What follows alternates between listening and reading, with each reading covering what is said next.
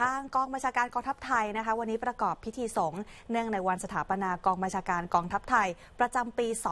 2561 ค่ะ พร้อมยืนยันด้วยนะคะว่าจะทำหน้าที่ให้เกิดประโยชน์สูงสุดต่อประเทศชาติค่ะ พลอากาศเอกทานชัยยันศรีสุวรรณผู้บัญชาการทหารสูงสุด ได้รวมพิธีบวงสรวงพระบรมราชานุสาวรี สมเด็จพระนเรศวรมหาราช เนื่องในงานวันสถาปนากองบัญชาการกองทัพไทยประจำปี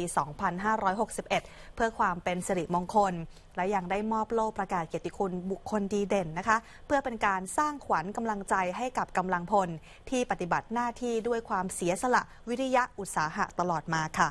ทางนี้นะครับทางด้านของกองบัญชาการกองทัพไทยยืนยันว่า ความพร้อมในการใช้ทรัพยากรทุก ๆ ด้าน ให้เกิดประโยชน์สูงสุด เพื่อสนองต่อนโยบายของรัฐบาล และกระทรวงกลาโหมในการดูแลความมั่นคงของรัฐปกป้องและเทิดทูนสถาบันพระมหากษัตริย์นะครับ เพื่อรักษาผลประโยชน์ของชาติ และการปกครองในระบอบประชาธิปไตย อันมีพระมหากษัตริย์ทรงเป็นพระประมุขนะครับ ตลอดจนให้ความช่วยเหลือบรรเทาทุกข์ของประชาชนอีกด้วย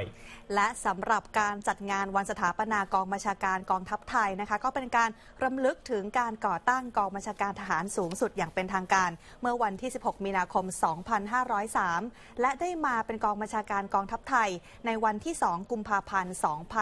2551 ค่ะ แต่ก็ยังให้ถือว่าวันที่ 16 มีนาคมของทุกปีเนี่ยเป็นวันกองบัญชาการกองทัพไทยอยู่นะคะ จะได้ไม่สับสนกันว่าเอ๊ะอืมทำไมมีการฉลองกันทั้ง 2 วันทั้งในเดือนเออกุมภาพันธ์แล้วก็วันนี้ด้วย แต่ว่าวันนี้เป็นวันที่เป็นวันสถาปนาเออกองกองบัญชาการกองทัพไทยอย่างเป็นทางการนะคะ 16 มีนาคมค่ะ